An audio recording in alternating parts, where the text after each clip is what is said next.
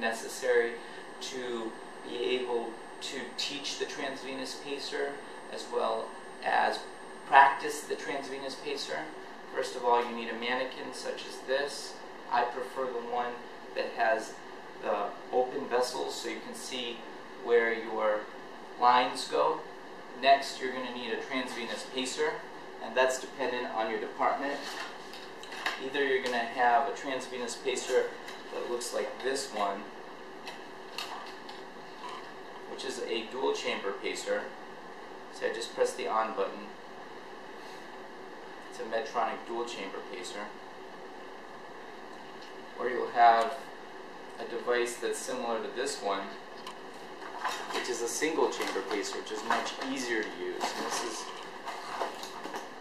a single chamber pacer, which is an on-off button, and it just paces where you want it to pace. Now, the pacemaker is uh, either a single chamber or, or double chamber, but they both have the ability to adjust the sensitivity and the output and the rate.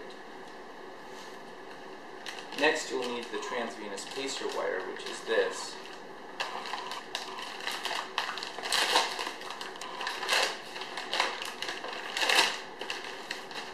That's the transvenous pacer wire. Transvenous pacer wire comes with an inflatable syringe,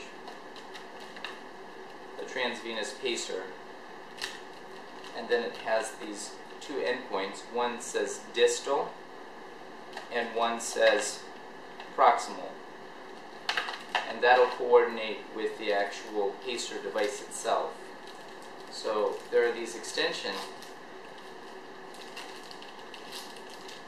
clamps that can go into the ends here, the distal. So you just push that in. And you got to push it in hard enough to actually get it all the way in. So you don't have a risk of it collapsing. And then the same thing here, the proximal end. Just push it in and push it in really hard. So the engineers that actually invented this thing did do a good job with this device. This is the syringe that just puts in the exact amount of air necessary. So if you'll see, this balloon is very flimsy. So when you input the air, it'll make the balloon rise, as you can tell, and it'll put in exactly one and a half cc's of air. Now it has to be air and not water because you want this to float like a sail.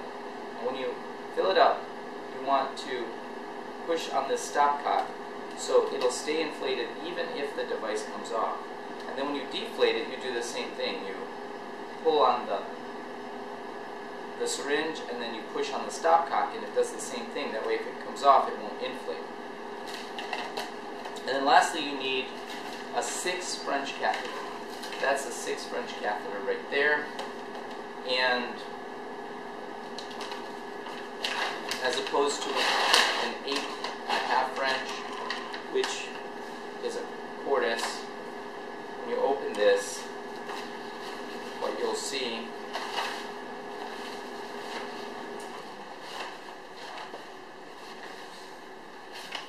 is a smaller catheter than a Cordis. And it also has this, which is really important, it's the cover.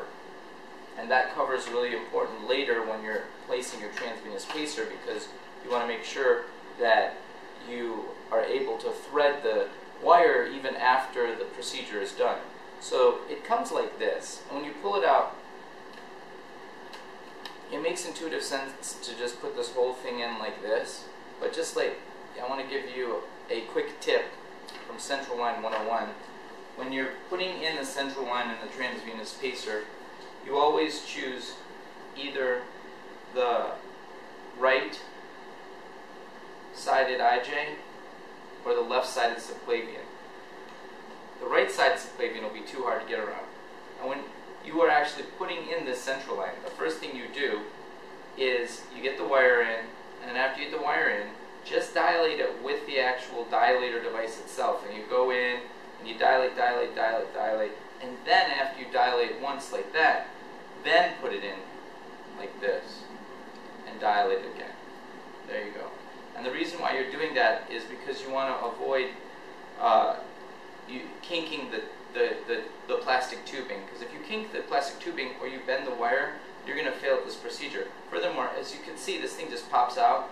So when you're actually putting this whole thing, you should twist the whole thing in while you're holding the cap on so it doesn't pop out. If it pops out, it'll slide like that. So you have your central line kit. You've got your transvenous pacer.